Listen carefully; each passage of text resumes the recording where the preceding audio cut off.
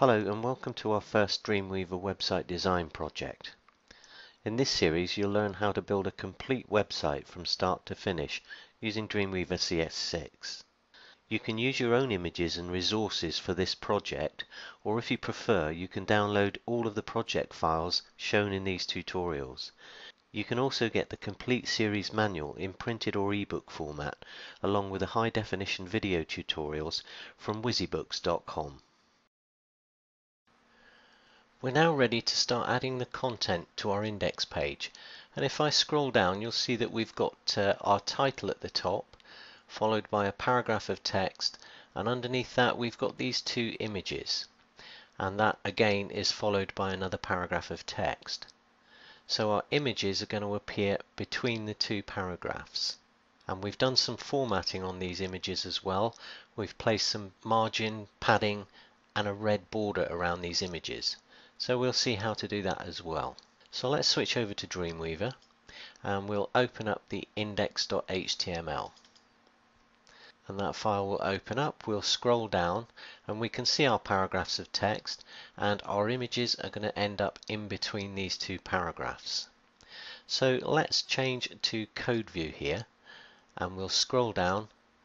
This is our content section and there's our H1 heading. The two paragraphs of text are just underneath that.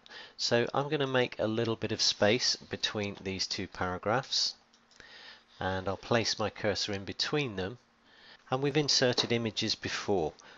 So we open an image tag, source is going to be one of the images in our site folder. So we'll open up the image folder and the one we're looking for is the trees 1 BW, the black and white version. We've also got a trees one which is a color version and we'll be using this file later on to create that hover effect. So for now it's trees 1 black and white or BW and you can see the dimensions here if you're using your own files and we'll say OK. That image path gets inserted and then we simply close with a space, a forward slash and a closing angle bracket. And we'll save that. And let's just preview that in a browser. So we'll scroll down and there's our first image inserted. Okay let's insert the second image. So again we'll come back between the two paragraphs of text. We'll create a new line and we'll insert the second black and white image.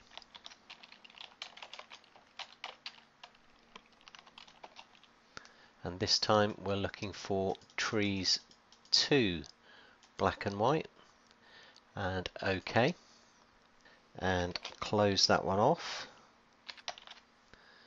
Save that. And we'll go back and preview that page in the browser. So we've got our two images in there. The next thing we need to do is to format them so that they've got the border, margin and padding. And we'll do that with CSS. So we'll switch back to our index document and these are the two images that we've been working on and we're going to format these with some inline styling. So we'll come back to our CSS file and we're going to scroll right down until we get to the bottom of the code. We'll make a little bit of space and we'll put in a comment to say that this is the area where we're going to keep our class styles. So class styles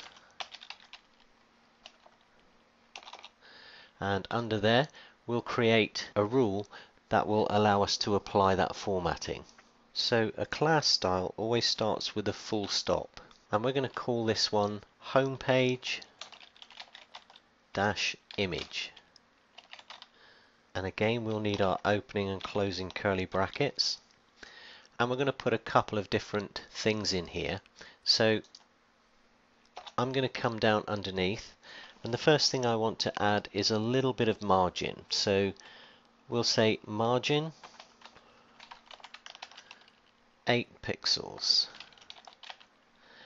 and we'll place some padding in there as well and we'll give this 9 pixels of padding. And then we need to place that red border around them. So we'll say border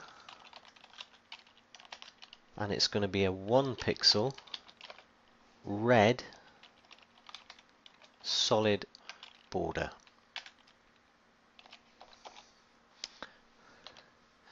Okay, so we've got our class rule set up there now, and we've called it homepage image. We've set some margin, padding, and border. I'll save that, and we'll switch back to our preview window, and we'll refresh that. And you'll notice that nothing's happened. This formatting hasn't yet been applied. And that's because we've got to apply that class style to the individual images we might have other images that we want to place on this page that we don't want to format in that way. So we're going to target both of these images with that class style. So we'll switch back to Dreamweaver and we'll switch back to the HTML code. So this is our first image and what I'm going to do is I'm going to place my cursor just before the source and I'm going to type in class and then the equal sign and open quotation marks. And when I get to that point the code hint window will open and we can see our homepage image class style in there. And it's been selected there right at the top. So I'm just going to press enter and then we'll close the quotation marks. Finish off with a space so that we separate the source from our class style. So we've got the image and we've applied a class to the image and the source of that image is the trees one dot black and white. Let's not apply that class style to this second image just yet. We'll see how it looks with just one image. Remember we've made changes to both the HTML and the styles so we'll say save all and then we'll come down and preview that one. Refresh and you can see now that the first image has got that border padding and margin applied. We've still got to do the second image, but that will be a case of simply copying pasting that class style. So we'll switch back to Dreamweaver. There's the class entry that we just entered. I'll highlight that and copy. And then we'll place the cursor just at the beginning of the source for trees 2 and paste. And now we've got that class style applied to both of our images. So let's save all and preview that. And there it is. Both of our images now are formatted just as we want them. And in our next lesson, we'll see how we apply that hover effect that makes these pictures change to color as we hover our mouse over them. If you found this series of videos helpful and you want to receive updates on video tutorials as they're released, why not subscribe to my channel? And don't forget to like and share it with your friends.